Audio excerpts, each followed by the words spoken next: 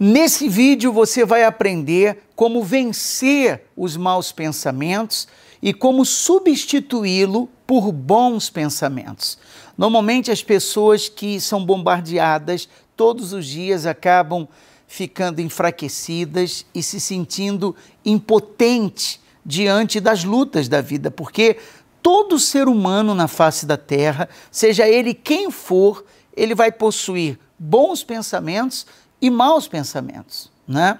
E você vê tantas pessoas desacreditadas e desanimadas da vida por causa disso que eu vou ler. Elas fazem o oposto do que orienta a palavra de Deus e aí elas não conseguem superar os seus momentos difíceis, tá? Eu quero pedir que aqui embaixo você se inscreva, está escrito aqui inscrever. Você vai receber todos os dias orações, mensagens que irão abençoar a sua vida. É grátis, você não paga nada para se inscrever e muito menos para receber as orações e mensagens que você estará recebendo, tá bom? Aqui embaixo também tem o gostei, o joinha. Quando você clica aqui, você avisa o canal do YouTube que esse vídeo vai abençoar outras pessoas. Então, outras pessoas vão poder ver esse vídeo, ele vai apresentar e assim nós vamos evangelizar o maior número de pessoas possível, tá bom? Eu quero que você preste bem atenção no que está escrito no livro de Lamentações, capítulo 3, versículo 21. A orientação da palavra de Deus diz assim: Quero trazer à memória o que me pode dar esperança. Quero trazer à memória o que me pode dar esperança. É um versículo só, mas com uma força muito grande. Porque o que deixa a pessoa abatida são os seus pensamentos. Há um estudo, existe um estudo que diz que nós temos, de, de, de, de todos os pensamentos que temos o dia inteiro, 70% são repetidos. Então imagine você, todos os dias nós repetimos 70% dos pensamentos que nós tivemos no dia anterior.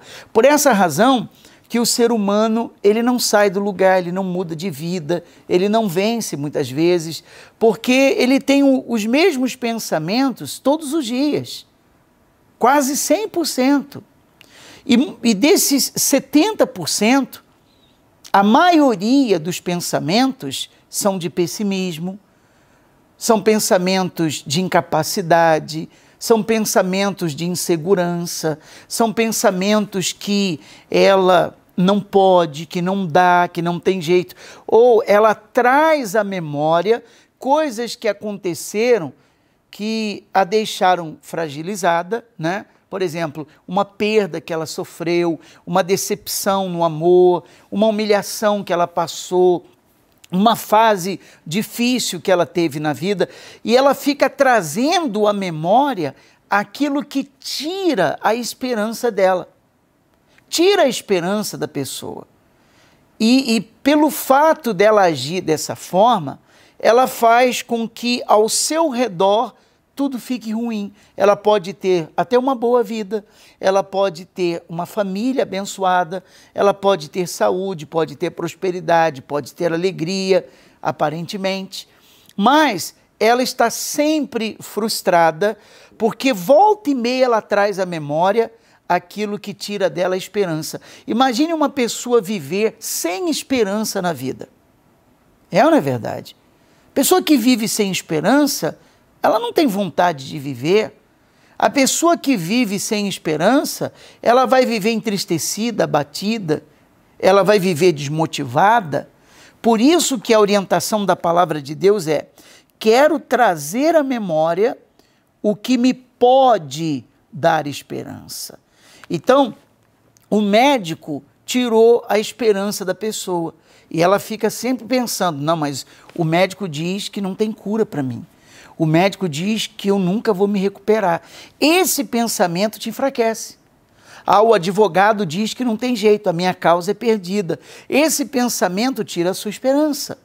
Ah, o marido diz que não volta mais, ele foi embora, diz que não me ama, não me quer mais. E ela alimenta esse pensamento que tira dela a esperança. O namorado, a namorada terminou o relacionamento e diz que quer uma outra pessoa, e tudo isso faz as pessoas viverem frustradas na vida, sem contar aquelas que ouviram que elas não são capazes, que elas são não são suficientes. É ou não é verdade? A lista é muito grande. Por isso que a palavra diz: quero trazer à memória o que me pode dar esperança. O que, que dá esperança para você? Eu vou vencer, eu vou ficar curado, eu vou ficar liberto, eu vou mudar de vida, eu vou ser feliz, eu vou ter uma família, eu vou conseguir me casar, eu vou conseguir a minha vitória. Quando você traz à memória aquilo que te dá esperança, você se fortalece, você sorri, você se anima. Não é você ter pensamentos positivos apenas ou tentar fingir que está tudo bem. Não é isso que eu estou dizendo.